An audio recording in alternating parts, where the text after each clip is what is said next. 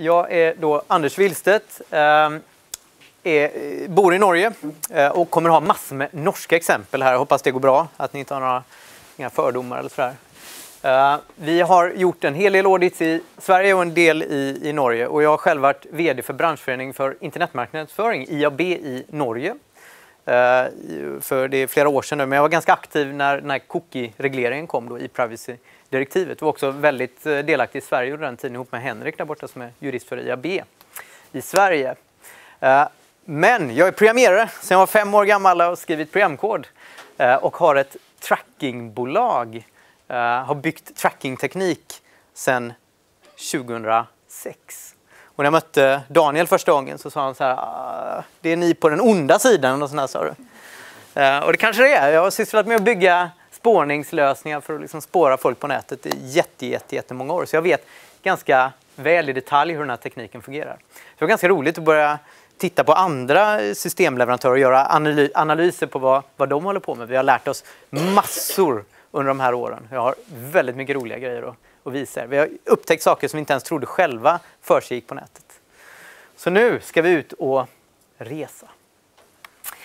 Eh, det vi framför allt tittar på det är, det är personuppgifter som inte är så här e-mailadresser och, och så här, uppenbara grejer. För det, det här tar sajtägarna själva hand om. Man letar efter liksom vad man sparar personnummer och telefonnummer och sådär.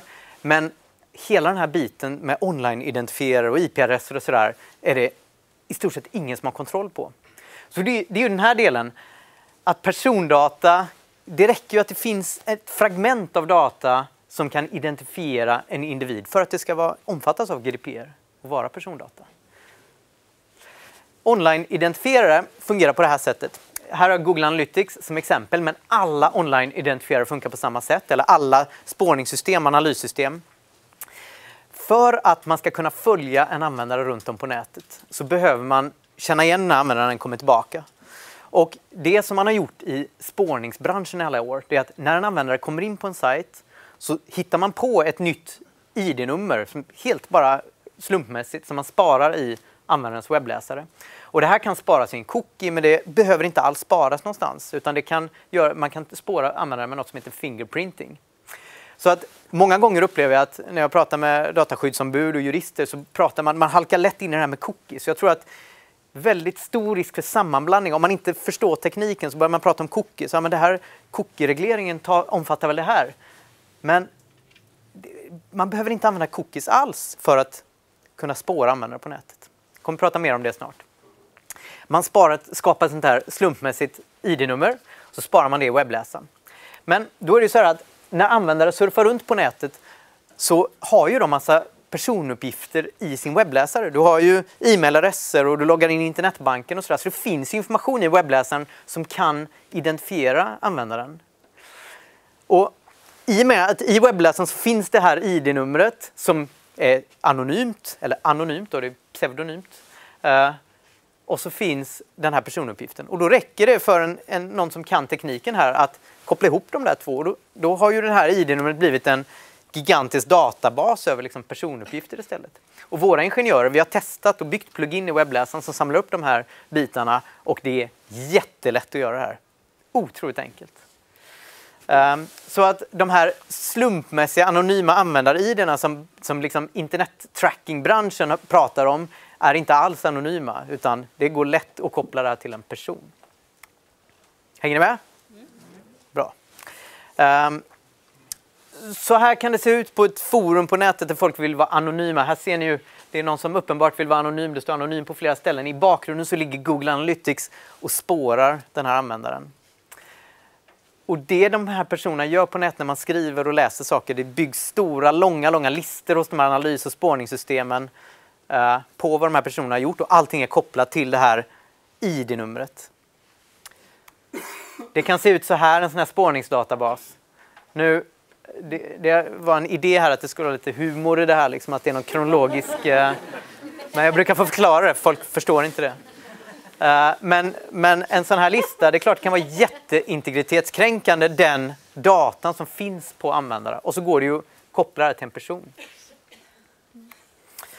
Sen den andra delen är IP-adresser också. Och IP-adresser eh, det är inte jättelätt att få reda på vem som gömmer sig bakom en IP-adress, men, man, men det går. Alltså, om jag, eh, om jag vill veta vem som har haft en viss IP-adress på mobilen till exempel vid en viss tidpunkt och ringer Telenor och frågar så kommer de kanske inte säga det, eller kommer de inte göra för de får inte lov. Men om jag har en kompis där så kan ju de kolla upp det för informationen finns ju där. Så det här är ju också så att det går att koppla det här till individer eh, och därför måste man vara lika försiktig med IP-adresserna. Och nu börjar, börjar det hända grejer. I Frankrike såg vi de första fallen där liksom online-marknadsföring eh, och, och system som sysslar, liksom digitala system och det som vi håller på med i min lilla bransch. Eh, liksom, man börjar slå ner på det här. De första casen är från Frankrike. Två bolag som sysslar med positioneringsteknik som fick besök av franska dataskyddsmyndigheter eh, för några veckor sedan. Um, det vi har gjort det är att vi har byggt en bot. Det här är ganska roligt för att så här ser de ut. Så vi har spritt ut dem här över Europa. Det är små datorer och med de här datorerna så kan vi besöka eh, sajter som, som vi har som kunder och så kan vi simulera att vi är en vanlig person som kommer in på den här sajten. För att teknik, alltså, vi har hållit på med det här sedan sen 90-talet eh, att bygga spårningsteknik. Och det är klart, folk gillar inte att bli spårade så att det har funnits i branschen liksom en man har redan vetat att det är bra att hålla sig lite undan. Eh, så att det vi ser är att när folk går in på en sajt så kan vi vänta, eller ett spårningssystem, vi gör ju såklart inte så i mitt bolag, men eh, spårningssystemsbyggare kan vänta sådär till folk har surfat 8, 9, 10 gånger runt på sajten innan de skjuter iväg sina pixlar och sätter cookies. Och det här ser vi hela tiden, att man, man väntar med att, att äh, lagra den här informationen. Så att det vi gör det är att vi simulerar att vi är människor, att vi är folk med mobiltelefoner, vi scrollar på sajterna och vips så börjar det dyka upp massa grejer som sajtägarna inte visste att de hade där. Och det jag kommer visa om en stund det är hur i hela helvete det här har kommit in på sajten. Så att då är det viktigt att ni sitter ordentligt på era stolar så ni inte faller av. Um, vår bot genererar typiskt en, en enorm rapport, eh, 30 miljoner tecken, 56 romaner motsvarar det. Och vi analyserar alltihopa manuellt. Och resultatet, vi har ingenjörer runt om i Europa och resultatet är en sån här rapport typiskt. Som ser ut så här, full med data om vad som händer. Och det vi försöker göra är att vi försöker översätta tekniska grejer till liksom något som alla kan begripa. Så målgruppen är typiskt marknadschefer eller dataskyddsombud. Eh, så plötsligt kan man bara lista ut vad det är som, som händer på sajten. Det som var ganska svårt att göra. Det här är mänskligt, precis. Ja, det är inte så mycket maskinkoder här. Nej, ni kan titta på de här, jag har ett par stycken eh, här. Men det är liksom de olika aktörerna som, som är här, en sida för varje med lite beskrivning och lite analys och sådär. Eh, det vi letar efter är överföringar av Eh, personuppgifter och det, det, vi fokuserar på är de här online-identifierarna och IP-adresserna. För vi menar att allt det andra det har man bra koll på själva. Vi, ibland hittar vi lite överföringar som folk inte hade koll på men det, det är inte så mycket liksom, stöld av e-mailadresser och sådär. Det är inte det som är liksom, det stora problemet på nätet skulle inte jag säga. Och vi letar då efter profilering eh, såklart. System som tar automatiska beslut. Eh, alltså man samlar upp någonting på nätet och så baser, gör någon profil och baserat på det så händer någonting. Och i, I internetreklambranschen så är det jättemycket sånt. Alltså, någon går in på en sajt, man bygger en profil och så surfar man ute på nätet och vips så, liksom, så är det soffor överallt. Det har ni ju sett allihopa. Hur går det till egentligen? Liksom? Det kommer jag till. Och så tittar vi på vad den här datan tar vägen, för det kan vi faktiskt följa. Vi kan se vad, vad den här datan tar vägen, i alla fall ett par steg. Och så kan vi se om den sticker iväg från Europa. Och otroligt mycket av den här datan bara försvinner ut från Europa med en gång. Det kan vi se. Och sen är det klart att en del data försvinner ut av Europa utan att vi kan, eller ut från Europa heter det väl. Nu har jag varit jättemycket i Norge. Det kan säkert vara massa språkfel så ni får säga till om det liksom, om ni är språkpoliser eller så. Om ni inte förstår. I alla fall. Eh, vi kan följa var datan tar vägen och eh, vi tittar om det ja, eh, liksom, eh, om vi har stora problem. Jag kommer tillbaka till det. Och sen kollar vi på vilket ansvar påstår den här aktören att de tar. Då. Ja, nu tuggar jag vidare. Så här kan en typisk vanlig svensk sajt se ut. Vilken som helst webbplats. Och alla de aktörerna som ni ser här är aktörer som på olika sätt processerar persondata under den, eh, liksom det här som jag visat nu, IP-adresser och online-identifierare. Och det här är tekniker liksom som, som man har, har halkat in genom årens lopp. har man liksom olika lagt in det här. Liksom. Eh, och utan att egentligen folk har så mycket koll på, alltså de som har lagt in dem vet inte riktigt vad det här är för någonting utan man behöver någon tjänst och som har lagt in den. Mm. Yep. Eh, jag gjorde det här utan med en reverse firewall mm. och eh, gick in på Svenska Dagbladet och blev det 25 sådana här connections. Mm. En av dem gick till Microsoft Mm. och det var den enda som var krypterad. Mm. Så jag kontaktade Microsoft och frågade innehåller den här personuppgiften?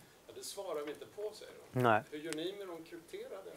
Jo, eh, det är en bra fråga. Det är inte så mycket krypterat. Eller Väldigt, fått svar från Microsoft? eh, nej, men det är väldigt lite som är krypterat. Eh, faktiskt. Facebook eh, krypterar sina grejer. Men vi kan se att de flesta av de här gör något som heter fingerprinting. Det här kan jag prata om i, i timmar. Men det är otroligt intressant teknik. Eh, och fingerprinting, Facebook är ru- ruggigt duk- duktiga på det här. Och det man gör då, håll, sitt ordentligt på stolarna nu. Det man gör med fingerprinting det är att man istället för att lagra en sån här online-identifierare i webbläsaren eller i telefonen eller vad det är, så försöker man identifiera den här ändå genom de egenskaperna man kan läsa upp. Och det eh, Facebook gör till exempel, det är att de, när det, de har ett litet skript som ligger på sajterna och när man börjar ladda det skriptet så sparar de ner så här, vilken millisekund tidsstämpel var det just nu. Och sen kollar de hur lång tid tar det att exekvera deras skript och köra skriptet på just den här enheten. Och när skriptet är färdigkört så har de en ny tidsstämpel. Och då vet vi att på just den här enheten tog det så här många millisekunder att köra vårt Facebook-skript. Och sen ihop med lite IP-adressdata och lite sådana saker, ja, då blir den här enheten ganska unik. Och jag och min fru vi har exakt likadana telefoner. Men vi har, de har, det har varit igång lite olika länge, vi har lite olika appar och sådär. Och, och Apple är notoriskt duktiga på att liksom försöka värna, eh, vad heter det? värna personliga integriteten. Ja. Men när vi testade Facebooks eh, skript så kunde ändå den avgöra att det här var två olika personer trots att vi surfar anonymt i så här porrläge i webbläsaren. Så att fingerprinting är en teknik som vi, som vi hittar ofta. Många använder den här tekniken. Vilket innebär att går man in i det här porrläget eh, där man tror att man surfar anonymt så kan man spåra ändå. Inga problem. Jätteroligt. Det är kul teknik. Kul att hitta på sådana här saker men det är klart det är ju jättegalet under GDPR. Okej. Privacy by design, första området jag kommer eh, eh beröra. Och det, eh, det, jag pratar jättemycket om de här olika eh, grejerna och lär upp utvecklare mycket för att utvecklarna förstår inte det här. Det här är ganska spännande för att eh, det, det jag upplever, min personliga upplevelse när jag möter våra kunder, det är att det är, man har jurister och dataskyddsombud här och så har man utvecklare här och så liksom förstår man inte varandra. Det finns inga mötesplatser. Utvecklarna förstår inte det här och, och juristerna förstår inte detta. Uh, så att här, det är så viktigt att man liksom från, från den juridiska sidan börjar förstå tekniken och, men också att utvecklarna börjar förstå att här finns juridiska utmaningar. Um, så, så de bolagen som vi har som kunder, de har gjort ett jättearbete med att inventera uh, liksom personuppgifter upp, sida upp och ner och alla tycker det är skittråkigt. Alltså, åh helvete, inte mer GDPR, säger de när jag kommer. Men, men det här är ju nytt för allihopa.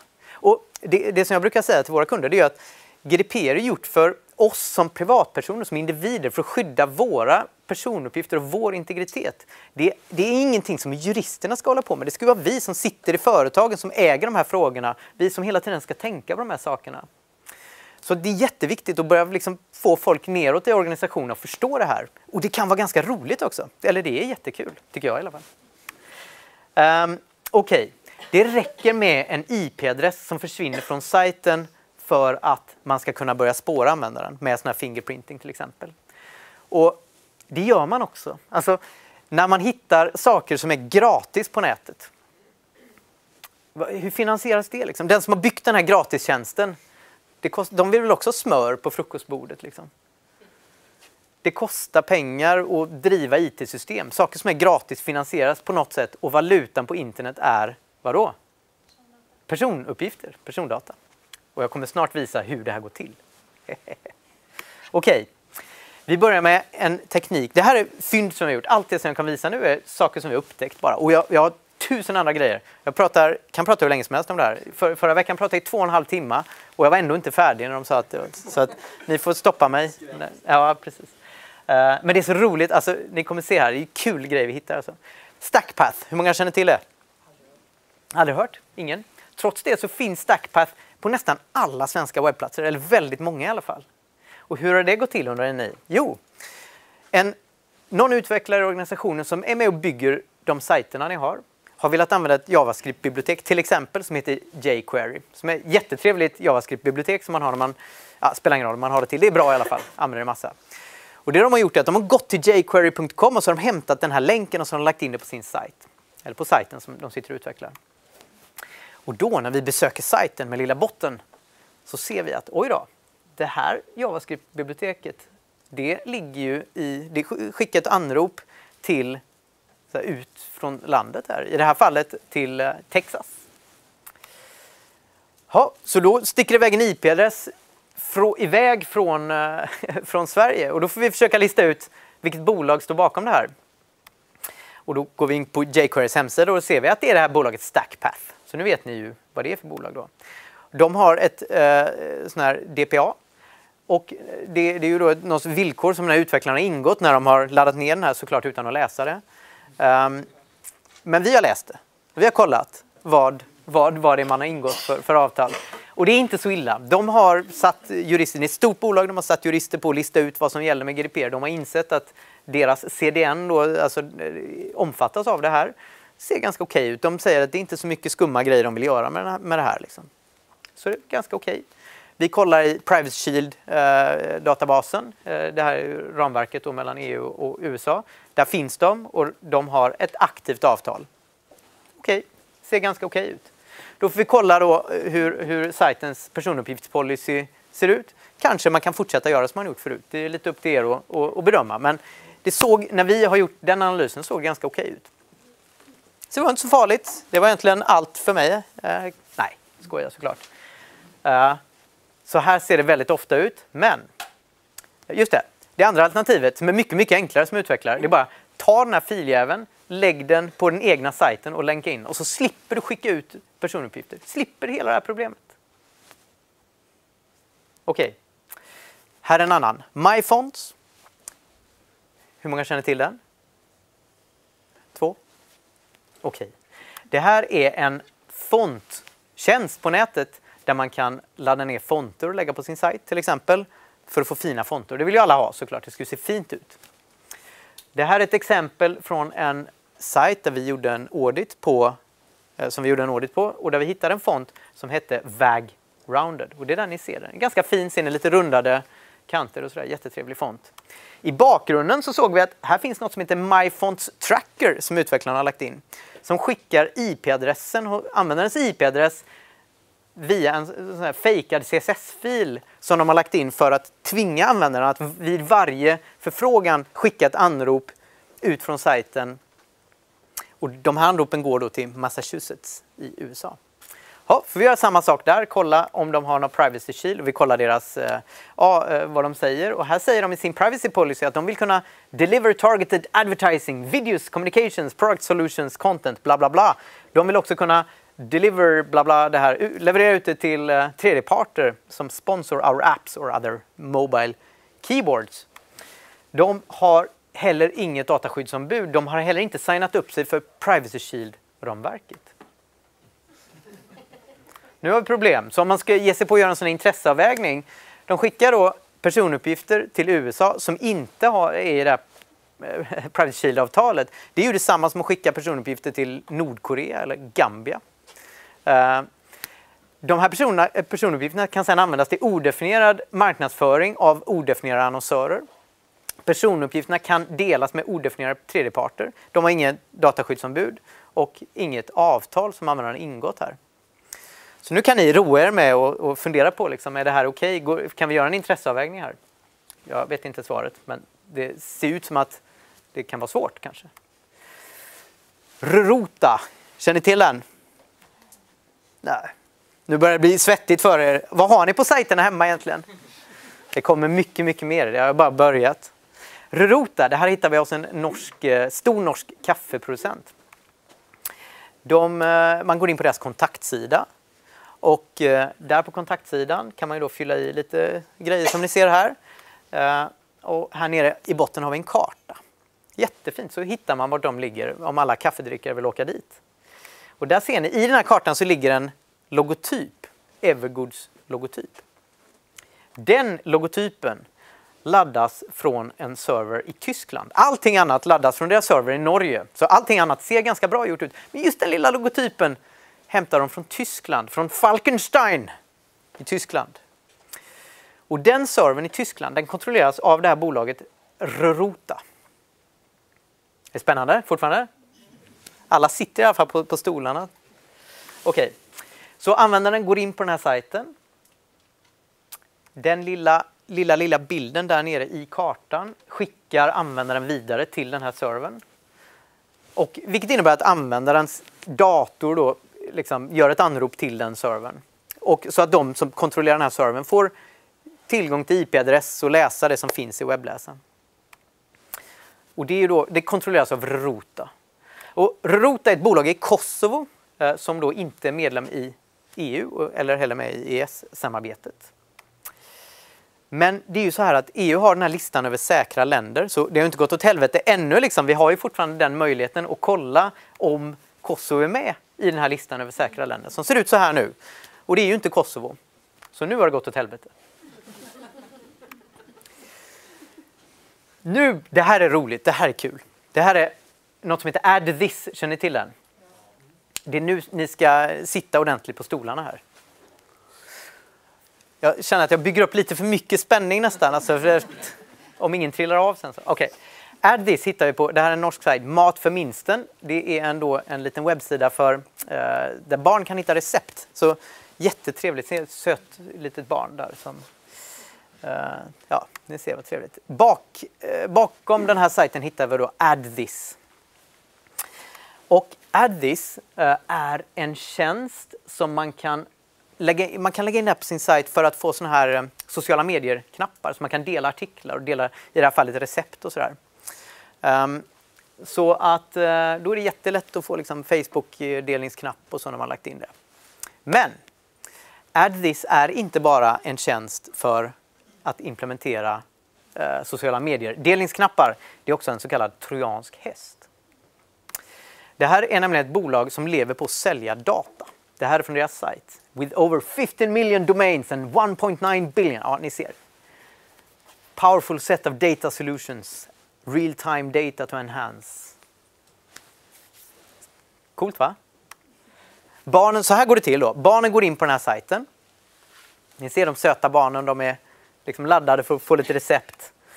Så kommer in och tittar där och i bakgrunden så skickar då den här sajten de här barnen till Add this powered by, by Oracle Data Cloud. Så att det vi ser händer i barnens webbläsare det är att de vidare skickas, deras webbläsare, till Pinterest, i det här fallet LinkedIn och Facebook. Och då kan man ju fråga sig, det här händer bara barnen går in på den här sajten. Alltså de behöver inte trycka på några knappar, ingenting, utan då poppas de här tjänsterna upp i bakgrunden som gör att LinkedIn kan synkronisera sina IDn med eh, det här barnets webbläsare och de andra kan göra samma sak. Kom ihåg Facebooks sån här eh, fingerprinting i bakgrunden. Men ni ser, jag har lämnat jättemycket plats på högersidan där, massa vitt utrymme, för det här är inte allt som händer. Utan det som också händer är att de här barnens webbläsare skickas vidare till Blue Sky som är en av världens största databörser där man kan köpa personuppgifter för marknadsföring. Datalogics, jag vet inte riktigt vad det är, men det låter coolt. Exponential Advertising Intelligence. Här sker profilering och processering så det står härliga till. Och de som la in det här, jag är ju såklart, det är ju mina kunder, jag pratar med dem. De har ingen aning. De ville bara ha några sociala, del, sociala medieknappar. Och så hände det här. I bakgrunden ser vi att det sätts cookies eh, med sådana här pseudonyma ID. Och när man går in på Oracle Data Cloud så kan man då köpa 4,4 miljoner normen i Food och Gourmet. Det är ju nästan hela landet. Fantastiskt. Och var kommer de människorna ifrån? Ja. när jag hade den här presentationen för, för några veckor sedan så satt en kille från Oracle i publiken. Är det någon från Oracle här eller? Han var jätte, jätte, jätte, jätte arg efteråt. Han sa så här att kom ihåg att det är Addis som gör det här, det är inte Oracle. Nej, nej, så, nej, nej, såklart. Jag, nej, det, det är viktigt, det är Addis. Det, jag ville bara få tyst på den här diskussionen, nämligen så att Oracle äger Addis och det visste inte han om. Det de har, skriver på sin sajt det är att det är en förutsättning naturligtvis för att, eh, att du ska ha då, eh, du ska obtain consent from website visitors. Självklart har Oracle koll på, på deras sida. Och eh, du förväntas offer your visitors an opt-out mechanism. Så att man, de har ju koll på sin sida, de vet vad som gäller. Och sen, det är gjort i god tro det här, lagt in det här, men det är fortfarande ganska omfattande dataprocessering som sker i bakgrunden. Och liknande grejer har vi hittat på massor av sajter. Ja, det här behöver vi väl inte ens fundera på. Genom att ställa krav på privacy by design, genom att se till att organisationens utvecklare har lite grundläggande kunskaper så kan man reducera sina GDPR-problem rejält. Och det här att, att ändra de här grejerna, det innebär ingen eller väldigt, väldigt, väldigt lite reducering i användarupplevelse för slutanvändaren. Och många gånger har man gjort det här bara för att det är bekvämt. Utvecklare går in och hämtar den här länken, liksom eh, jQuery-länken, bara för att det är så man alltid har gjort och det ser väldigt lätt ut. Eh, jag har ett annat exempel som jag inte har med nu här för jag hade så himla kort om tid. Så att, eh, vad sa du? Förlåt. Ja. Hur mycket tid har jag förresten? Finns ingen begränsning eller? Nej, jag kör på. Ja, visst. Jag kör på. Um, jo, om man går in och kollar till exempel Google Fonts som är en annan sån här tjänst och ska hämta ut en font där så har de lagt jätteprominent så här. här hämta den här länken och lägg på din sajt. Men om du vill ladda ner den och, och göra på, liksom, så att den laddas från din egen server, det är en jätte, jätteliten knapp man ska trycka på som är svår att hitta. Så att de här tjänsteleverantörerna gör ju såklart det jättelätt att länka in saker så att persondata så att de får tillgång till eh, användarens webbläsare i slutändan. Och när jag pratar med utvecklare så är det så att utvecklarna vill ju inte att det här ska hända. Det är bara att utvecklarna vet inte att det här händer i bakgrunden. Programmerarna vet inte och förstår inte de här bitarna. De vet inte hur online-marknadsföringsbranschen använder tekniken till att spåra användare, paketera till målgrupper och sälja datan. I slutändan så den som betalar för allt det här, det är ofta sajtägarna själva genom sin annonsavdelning som sen köper data som ofta är byggda från de egna sajterna. Okej, okay, ska jag titta på några tredjepartstjänster som implementeras på sajten också. Det här, eh, anledningen till att jag delat upp det lite är att det första delen, det här kan utvecklarna själva göra. Eh, kan själva, bara genom att lära sig det här så kan de slippa eh, rudimentära misstag. Den andra biten, det är en annan del av organisationen. För det är ofta när marknadsavdelningen upphandlar en ny tjänst till exempel, så man går till någon tjänstleverantör och lägger in någonting. Och då är ofta inte tekniker involverade utan man bara lägger in någonting. Då. Som, och man kan få jättestora problem då också. Här är något som heter ReachMe. Någon som känner till det? Eh, någon från ReachMe härifrån? Um, Okej, okay. ReachMe är en eh, teknisk lösning som man kan implementera på sin sajt för att lista lediga jobb som man har och eh, själva jobbansökningsprocessen kan, gå, kan, kan ske därifrån. Så det kan se ut så här att inne i sajten så kan man då ansöka. När vi gjorde audit på en sajt som hade ReachMe så såg allting väldigt, väldigt, väldigt bra ut när vi tittade på den legala delen. Ni ser här checklista för samtycke. Ni ser tummen upp. Wow, allt är i ordning, eller hur? Så då egentligen hade vi inte behövt göra en audit för allting var ju i ordning. Såklart så var det lite knasigheter här. ReachMe hade nämligen haft lust att göra lite egen analys. Upptäckte vi när vi tittade i koden. Så de hade implementerat några spårare, några trackers. Så här såg det ut. Det här upptäckte vi. Sajten.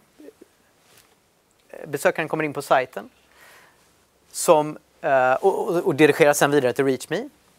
Och ReachMe dirigerar sen vidare till LinkedIn.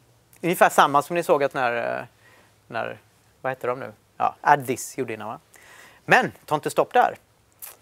De dirigerar också användaren vidare till Facebook och Google Accounts. Och det här var liksom bara ReachMe's tjänst laddades in så hände allt det här i bakgrunden. Så alla de här fick sätta sina online-identifierare i den här användarens webbläsare. Men de hade också lagt in Google Analytics, för det är kul med analys såklart. Och för att ha extra bra kontroll så hade de lagt in Snowplow Analytics också. Så de hade två analyssystem som båda satte online-identifierare i den här webb, äh, användarens webbläsare. Så i koden så kunde vi då se att data stack iväg till alla tänkbara hörn av jorden, USA bland annat. Det här är Google Analytics-koden. Eh, eh, vi kan se att de har använt sitt eget sån här Google Analytics-ID så de sparar allt det de har på, på sig själva. Och vi kunde se också att de har taggat upp det här med vår kunds namn så att de, när de samlar upp all data från alla sina kunder runt om på nätet så kan de skilja personuppgifterna från sina olika kunder i den här poolen av Google-data eller Analytics-data. Sannolikt en tekniker som har gjort det här. Um, därför att uh, det, så här har man alltid gjort. När man sätter upp en sajt så slänger man in Google Analytics. För det är bra att ha analys. Liksom. Och jag har alltid gjort det själv. Det är först när jag börjar se hur omfattande eller hur stora problem det är på nätet som jag liksom börjat vara mycket mer försiktig själv. Och det är ganska svårt faktiskt som utvecklare att inte spåra. Att bygga en sajt som inte spårar. Därför att har man Wordpress till exempel, lägger in något tema så vroom, får man massor av det här med på köpet. Um, jo, vår kund ringde till ReachMe och bråkade med dem jättemycket. Och de sa helt enkelt att de inte, nej vi gör inte det här, sa de. Så att vi blev inkopplade och visade att jo, ni gör det här, sa vi. Titta här. Vi visar dem den här rapporten. Och då, när vi gick in igen efter ett tag, så var den borta. Alltihopa. Så det var inga problem. Och vet ni vad? Funkar lika bra att signa upp sig och söka jobb som det gjorde innan. Men man har väldigt lite GDPR-problem. Okej, okay. ska vi köra på eller? Här kommer Vimeo. Någon som känner till det? Bra. Är det spännande fortfarande? Ja. Vimeo är en videotjänst på nät, typ som Youtube, fast en annan, eh, ja, en annan videotjänst. Um, så man kan embedda såna här videofilmer på sina sajter. Uh, och det är jätteenkelt att göra. Man går till den här Vimeo-sajten och så laddar man bara upp filmen där. Och sen så dyker den upp och så kan man bara gå in här och så kan man hämta ut embed-koden och så kan man lägga det på sin sajt. Så det går superfort och det är snabbt och det är enkelt och det är gratis. Kommer ni ihåg vad vi sa innan? När någonting är gratis det finns någon betalningsmekanism i bakgrunden. När Vimeos spelare laddas i skärmen, bara den laddas, behöver inte spela någon video, ingenting, bara den kommer in på sajten så börjar de spara sådana här online-identifierare i, i användarens webbläsare. Och när vi kollar vad de gör med den här så säger de så här att och vi förutsätter att de som använder Vimeo kommer från USA. Kommer det från något annat land så är det ni som är ansvariga för alltihopa. Eh, vi sysslar i alla fall med annonsering och utlevererar det här åt alla tänkbara håll och så vidare. Vi tar inget som helst ansvar. Och då kan man ju roa sig med att göra en sån här legal grund då, de, de, eller eh, intresseavvägning. Eh, de skickar då personuppgifter, de har inget sånt här Privacy Shield-avtal. De vill kunna då använda personuppgifter till odefinierad marknadsföring av odefinierade annonsörer. Eh, de vill kunna dela de här personuppgifterna med odefinierade tredjeparter. De har inget dataskyddsombud. De gör ju det här i jättestor skala naturligtvis. Och det finns inga avtal som omfattar det här. Kul va? Här används av tusentals svenska webbplatser. Och de andra grejerna jag visat också används av otroligt många. Vi har gjort, kan vi ha gjort 50 audits så här långt? Någonting sånt. Vi har inte hittat en enda sajt som inte har GDPR-problem av den här kalibern som jag pratat om. Inte en enda! Den bästa vi hittade hade två spårare, som, eller två olika tekniker som, liksom, som eh, inte var så allvarliga och som de lätt kunde hantera. Men de visste inte om det. Att, att få video utan alltså grejen är att Youtube är nästan lika illa. Youtube, Google har lite bättre, alltså de har bättre kontroll på GDPR och sådär än vad Vimeo har. Så måste man välja mellan de där två så är Youtube lite bättre. Men Youtube gör detsamma. De har sina online-identifierare och de eh, använder ju det till massiv reklam. Ni vet ju liksom hur, eh, hur mycket reklam det är på Youtube och det är ju eh, såklart eh, profilering och sådär som ligger bakom mycket av det här. Uh, om man helt vill slippa de här problemen så är det så att själva videoavspelningen den sker i webbläsaren. Det är, det är webbläsaren själv som gör det. Man behöver egentligen inte Youtube. Utan Youtube tillför eh, hosting av den här filmen. Så det man kan göra är att man kan lägga in en egen hostad eh, webbläsare eller sån här spelare i, i, på sajten och så kan man hosta filmen själv om man inte har så mycket trafik. Lite meckigare. Men det finns också lite sådana här spelare man kan ladda ner från nätet som är snygga och, lätta och, och hyfsat lätta att konfigurera i alla fall. Video är lite mäckigt än så länge, men man bör verkligen hålla sig undan Youtube och Vimeo är vår konklusion i alla fall. Eh, annars får man stora GDPR-utmaningar. Eh, vi hittade en sån här eh, spelare som man kan ladda ner som heter Plyr, som är en open source videospelare som en av våra kunder hade verkligen försökt slippa de här GDPR-problemen som man får med de stora spelarna och försökt hosta det själva. Och då upptäckte vi att Plyr i långt djupt i koden så ligger ett anrop till USA där de laddar ner en bild. Och det går då till någon sån här tjänst som inte, eh, som inte har eh, eh, som inte har grejer i ordning. Dessutom är det så, när grejer är open source så innebär det att alla som är med i open source-projektet har tillgång. Så vem som helst kan gå in där och ändra det här skriptet och då man, får man full tillgång till sajten och kan göra precis vad man vill. Så jag visade min kund hur vi, jag bytte lite så här länkar. Det stod köp eh, din nästa bil här och service och sådär. Bytte det till katt och hund och elefant. Då blev det jävla liv i organisationen. Oj, är det så lätt att få tillgång till hela vår sajt? Det är en sån bieffekt som vi upptäcker att liksom, det är ju ofta genom att man länkat in grejer så ger man ju jättestora möjligheter till externa aktörer att få, få kontroll på, eller tillgång till sajten. Okej. Okay. Ska vi, vi ta en liten paus nu innan vi går på eh, spårningstekniken? Okej? Okay?